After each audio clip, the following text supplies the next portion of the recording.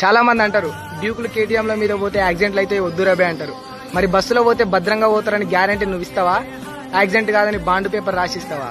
సచ్చేటోడు ఎట్లాగూ సచ్చేటప్పుడు చస్తాడు భయ్ బతికిన రోజులు మనకు నచ్చినట్టు సంతోషంగా బతకాలి.